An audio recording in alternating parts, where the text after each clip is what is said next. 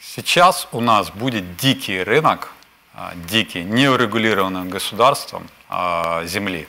Более того, я скажу вам, что фактически а, он уже начнется вот после 1 января. Почему? Потому что а, эти изменения, которых столько было копий сломано, не приняли. Да? Сейчас и будет обсуждаться там комитет, проходить через Верховную Раду. Еще неизвестно, в каком а, виде конечном а, примут эти изменения, да, которые позволят куплю-продажу земли, и когда примут и прочее. Но а, дело в том, что закончился мораторий на куплю-продажу земли, который, срок которого по законодательству 1 января 2020 года. И его не продлили, этот мораторий.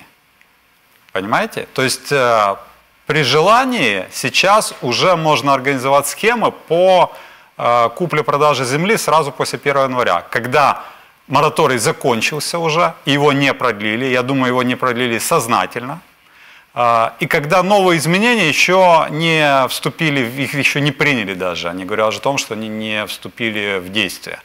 И можно за это там месяц-два, пока будет тянуться эпопея с принятием, непринятием а, всех законодательных актов, которые, может, и не примут в конце концов, да, можно организовать, я думаю, что кое-какие бизнес-структуры к этому вполне готовы и не случайно мораторий не продлили, и они будут уже скупать землю, потому что законодательство в принципе позволяет это делать, потому что был мораторий, теперь моратория нету.